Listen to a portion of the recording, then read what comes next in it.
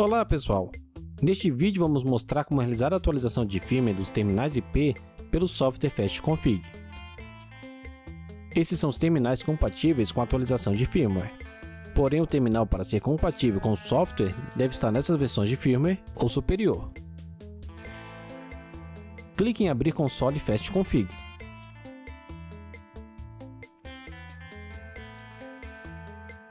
O usuário e senha padrão de acesso são admin. No menu, acesse a opção de firmware. Clique em carregar arquivo e selecione a firmware que baixou do site da Intelbras. Confirme os dados e pode carregar. Para carregar outras firmware, basta clicar em carregar arquivo.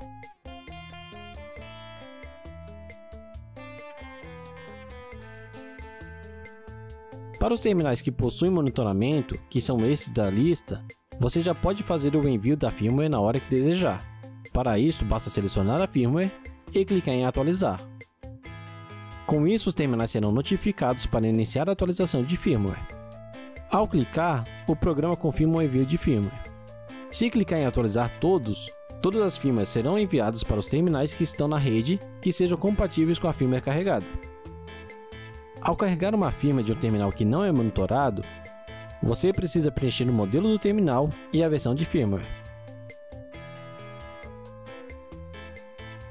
Para esses terminais, a atualização ocorrerá apenas na próxima vez que o terminal se provisionar na rede, que geralmente é de hora em hora ou quando reiniciar o terminal.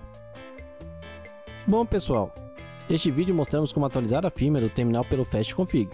Se gostou do vídeo, curta, compartilhe, se inscreva no nosso canal e clique no sininho para ativar as notificações. Até logo!